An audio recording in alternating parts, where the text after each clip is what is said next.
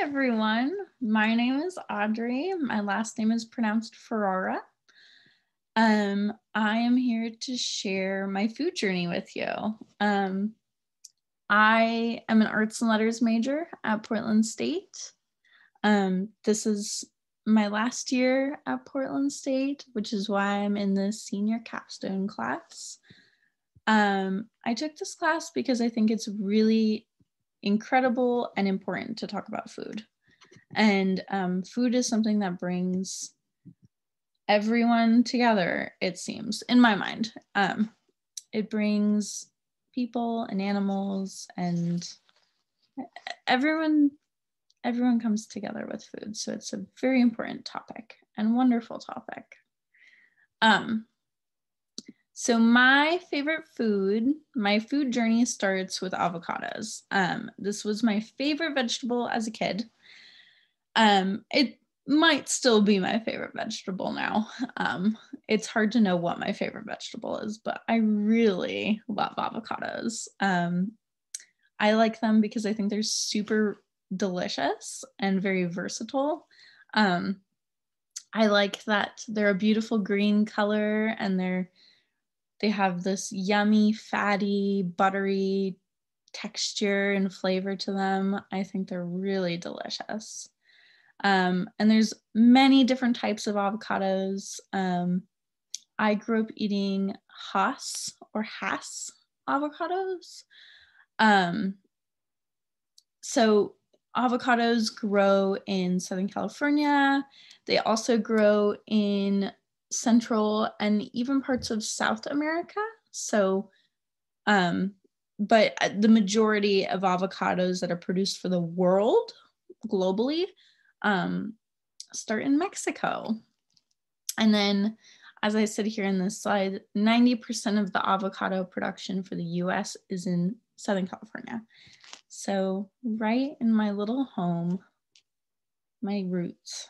Um, so here I'm sharing a recipe that my mom used to make. Um, I remember eating this as a kid um, during the summertime. Um, the avocados are best in the summertime.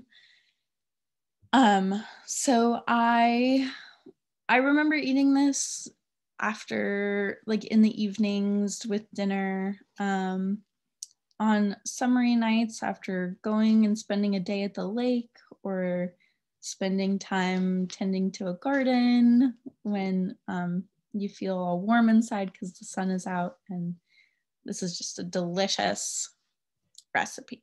So, um, my tip with this recipe is make sure you are carefully cutting an avocado. Um, a lot of people cut and hold an avocado in their hand like this and cut like this and that can be really dangerous because you can you can really hurt your hand. So be careful when you're cubing your avocado to not cut it like that. Make sure you're putting it on a surface so that you do not hurt yourself. Um,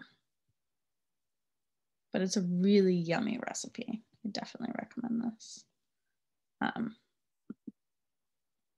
so, my next part of my food journey is with oranges. So, my ancestors are from Italy. My dad's side of the family immigrated here um, to America from Italy. Um, so, my dad grew up with a strong Italian culture and he raised me and my sister with that same um, culture. So, we learned a lot about um, Italian cuisine an Italian language um, and Italian just general culture. Um, yeah, so I feel very blessed to have that in my life. Um, my last name Ferrara is even there's a place in Italy called Ferrara, and I even got to visit there one one summer. I even went to Ferrara. It was incredible. So I found out that some oranges, that oranges grow in Italy. So not all oranges grow in Italy, but but Italy has a large orange production. Um, which I thought was amazing because as I told you, the, the mountain that I grew up on, the valley, when we would go down into the valley, there was a lot of it, it, was bountiful with food there a lot of produce grew in the valley of um, my hometown. And the biggest the biggest the biggest um, produce production was oranges there. So when i found out that oranges grew also in italy i felt this beautiful connection between where i grew up and where my ancestors grew up.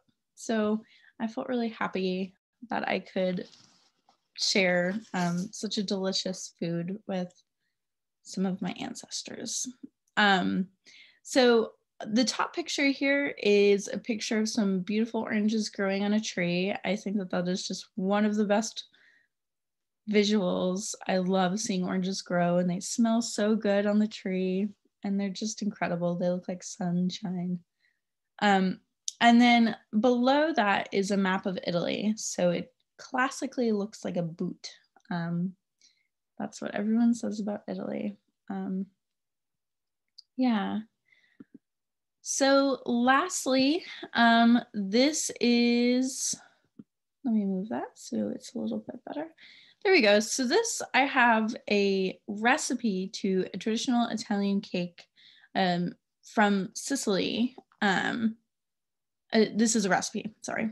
Um, so in this recipe, you actually use an entire orange, which I think is so yummy. I love using a, an entire fruit or vegetable for something, which is, I think it's very satisfying.